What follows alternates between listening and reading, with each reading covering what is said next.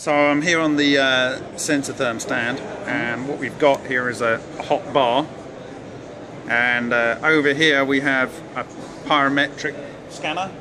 Pyrometer uh, It's a pyro- scanner. Right, so it's a, it's a pyrometer. You can see there, Sensotherm pyrometer and it's strapped into this kind of scanner here. This pyrometer this is scanner. You see that's oscillating up and down and that is looking at this object here. laser. Yeah? Oh, and it's got a.